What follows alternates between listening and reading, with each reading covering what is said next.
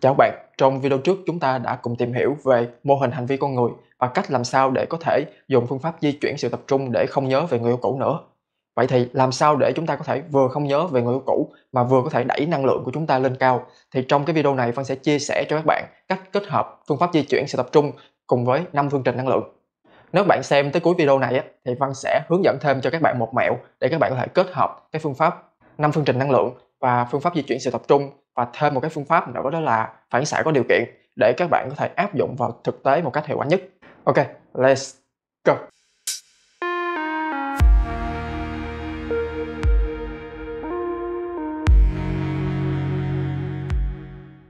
Để trả lời cho câu hỏi là làm sao để chúng ta vừa có thể không suy nghĩ về người yêu cũ mà vừa có thể đẩy năng lượng của mình lên cao á, thì các bạn cần phải di chuyển sự tập trung của mình sang một trong năm cái phương trình năng lượng này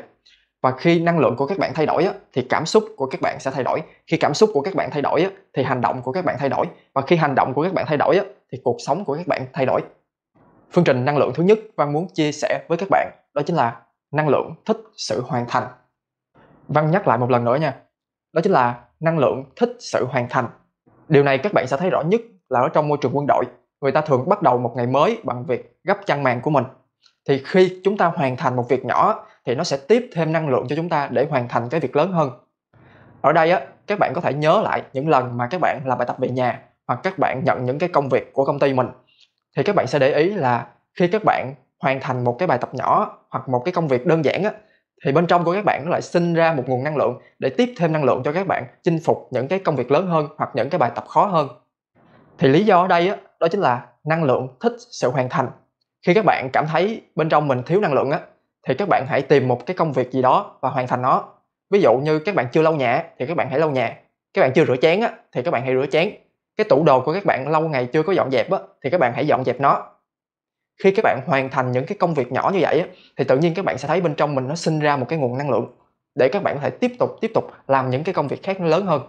thì các bạn có thể dễ dàng kiểm chứng được cái điều này nó có đúng hay không á bằng cách là hôm nào á thử các bạn cảm thấy mình hơi thiếu năng lượng một chút thì các bạn lấy cây lau nhà ra các bạn lau sạch cái nhà của mình thử xem rồi các bạn so sánh lại cái năng lượng của các bạn sau khi lau nhà và cái năng lượng của bạn trước khi lau nhà nó có thay đổi hay không thì các bạn sẽ chứng minh được là cái điều văn nói nó có đúng hay không ok thì đó là cái phương trình thứ nhất văn muốn chia sẻ với các bạn để có các bạn có thể tăng năng lượng của mình lên đó chính là năng lượng thích sự hoàn thành khi các bạn cảm thấy thiếu năng lượng thì các bạn hãy tìm một cái công việc gì đó và các bạn hoàn thành nó phương trình thứ hai văn muốn chia sẻ với các bạn đó chính là năng lượng thích sự chuyển động. Bởi vì á chuyển động nó tạo ra năng lượng và vì vậy năng lượng thích sự chuyển động.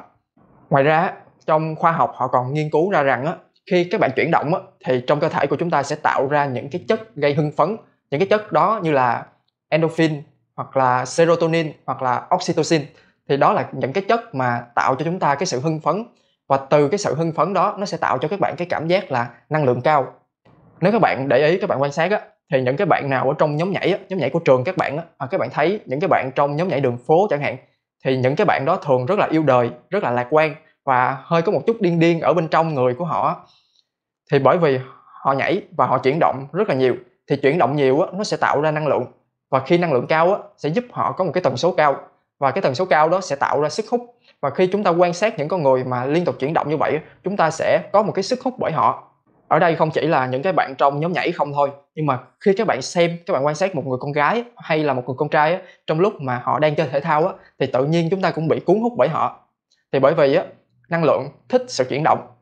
Thì khi các bạn cảm thấy mình đang bị thiếu năng lượng á, thì các bạn hãy chọn những cái hoạt động như là đi bộ tập gym hoặc là lau nhà hoặc là các bạn mở một cái bài hát lên và các bạn nhảy theo nó. Thì sau những cái hoạt động như vậy á, thì các bạn sẽ thấy năng lượng của mình sẽ được đẩy lên rất là cao thì đó là cái phương trình thứ hai và muốn chia sẻ với các bạn là năng lượng thích sự chuyển động. Phương trình năng lượng thứ ba đó chính là năng lượng thích sự hiểu biết. Điều này á, các bạn sẽ thấy rõ nhất đó là ở trong những cái lớp học về đa cấp. Thì trước khi mà họ dụ các bạn làm một điều gì đó, họ sẽ cung cấp cho bạn một cái kiến thức rất là hay ho. Ví dụ như là kim tứ đồ của Robert Kiyosaki, hoặc là bánh xe cuộc đời của Robin Sharma, hoặc là luật hấp dẫn, hoặc là năm phương trình năng lượng khi các bạn được khai sáng một điều gì đó hay là các bạn có thêm một cái kiến thức mới á, thì tự nhiên lúc đó năng lượng bên trong của các bạn sẽ được đẩy lên rất là cao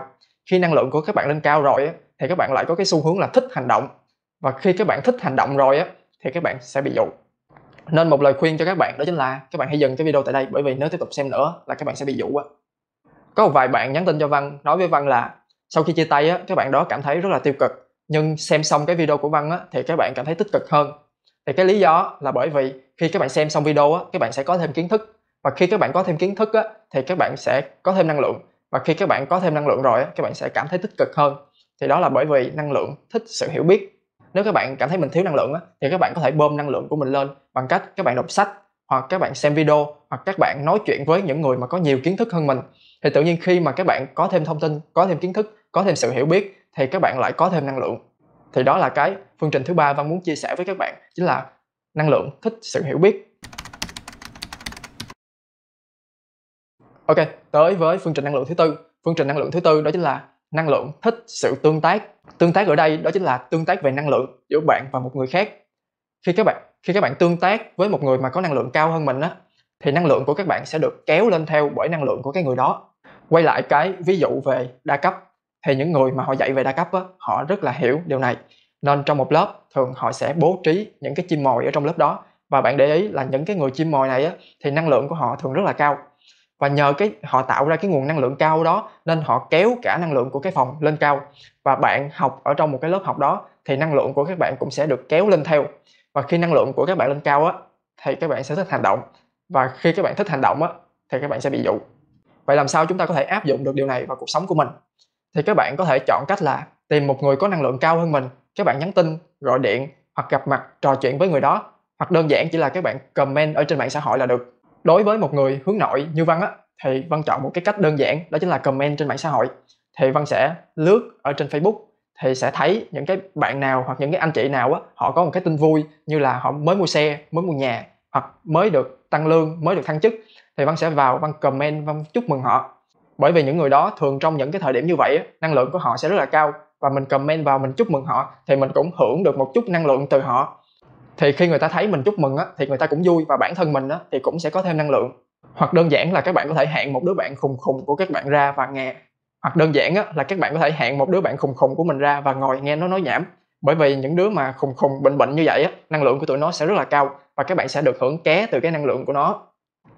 Thì đó là phương trình thứ tư và muốn chia sẻ với các bạn. Đó chính là năng lượng thích sự tương tác.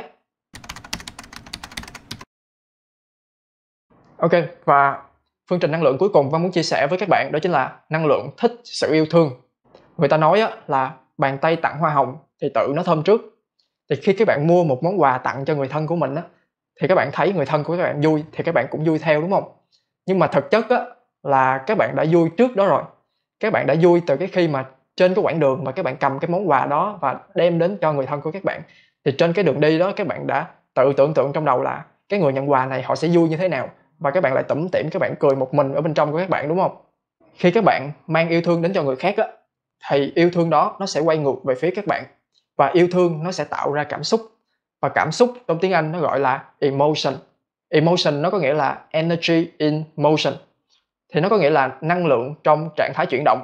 Thì khi các bạn nhận về yêu thương, thì chính là lúc các bạn đang nhận về năng lượng trong trạng thái chuyển động. Thì những cái hoạt động các bạn có thể làm như là các bạn gọi điện thoại hỏi thăm người thân của mình, hoặc các bạn mua một món quà tặng cho bạn bè, tặng cho người thân của các bạn, hoặc đơn giản là các bạn hãy nói một lời yêu thương với người mà các bạn yêu thương.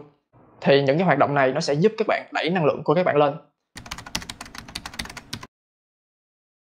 Thì đó là năm phương trình năng lượng văn muốn chia sẻ với các bạn. Phương trình thứ nhất, đó chính là năng lượng thích sự hiểu biết. Phương trình năng lượng thứ hai, đó chính là năng lượng thích sự yêu thương. Phương trình năng lượng thứ ba, đó chính là năng lượng thích sự chuyển động phương trình năng lượng thứ tư chính là năng lượng thích sự hoàn thành và phương trình năng lượng thứ năm đó chính là năng lượng thích sự tương tác Ok, bây giờ Văn sẽ chia sẻ với các bạn về cái cách làm sao để có thể kết hợp năm phương trình năng lượng, phương pháp di chuyển sự tập trung và phản xạ có điều kiện để các bạn có thể áp dụng vào cuộc sống của mình. Thì các bạn có nhớ là trong Excel nó sẽ có một cái hàm gọi là hàm if. Thì cái hàm if này nó có nghĩa là khi một chuyện A xảy ra thì tôi sẽ làm cái hành động B. Thì phản xạ có điều kiện ở đây đó chính là các bạn hãy luyện tập cho mình một cái thói quen và nó sẽ trở thành một cái phản xạ sau này cho các bạn. Đó chính là nếu mỗi khi mà cái hình ảnh, cái nỗi nhớ hay ký ức của người yêu cũ của các bạn ô về thì ngay lập tức các bạn hãy nghĩ ngay tới năm cái phương trình năng lượng này. Những lúc như vậy á các bạn hãy đặt tay lên trán của mình và các bạn sẽ nhớ tới năng lượng thích sự hiểu biết. Khi bạn nhìn vào tay trái của mình tay trái là cái tay kết nối với trái tim thì các bạn sẽ nhớ về cái phương trình đó chính là năng lượng thích sự yêu thương. Các bạn hãy nhìn vào tay phải của mình cái tay phải là cái tay mà chúng ta hay bấm điện thoại thì các bạn hãy nhớ tới cái phương trình đó chính là năng lượng thích sự tương tác khi các bạn nhìn vào chân trái của các bạn á, thì các bạn sẽ nhớ lại là năng lượng thích sự chuyển động và khi các bạn nhìn vào chân phải của các bạn á, các bạn sẽ nhớ lại là năng lượng thích sự hoàn thành và khi các bạn nhìn vào một vòng như vậy á, thì cái suy nghĩ của các bạn lúc đó nó sẽ bị đánh lừa và các bạn sẽ không nhớ về người yêu cũ nữa và nếu như khi các bạn nghĩ một vòng như vậy rồi á suy nghĩ của bạn vẫn chưa bị đánh lừa và các bạn vẫn còn nhớ về người yêu cũ của mình á thì các bạn hãy xem trong năm cái phương trình năng lượng này có một cái hành động nào mà các bạn có thể hành động ngay tại cái thời điểm đó luôn á thì các bạn hãy lấy nó ra và các bạn thực hành các bạn làm nó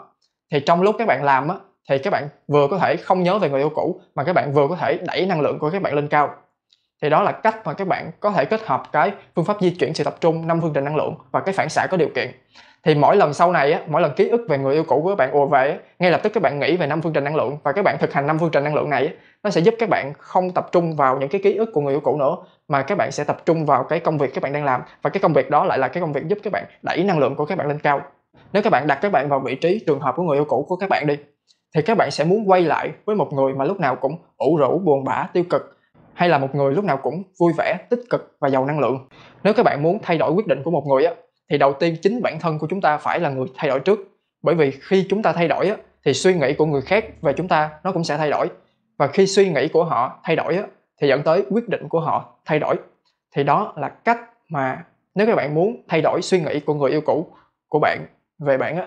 thì đầu tiên bạn phải là cái người thay đổi chính bản thân mình trước. Thì đó là những cái mà văn muốn chia sẻ cho các bạn trong những cái video mà một, hai, ba, bốn này. Thì mong là các bạn có thể thực hành năm cái phương trình năng lượng này kết hợp với những cách mà văn đã chia sẻ để có thể thay đổi cái quyết định của người yêu cũ của các bạn. Về bạn. Ok. Cảm ơn các bạn đã theo dõi video tới đây. Nếu các bạn có quan tâm về luật hấp dẫn có thể nhấn vào nút đăng ký và cái chuông bên cạnh để nhận những video tiếp theo của văn về luật hấp dẫn. Cảm ơn các bạn.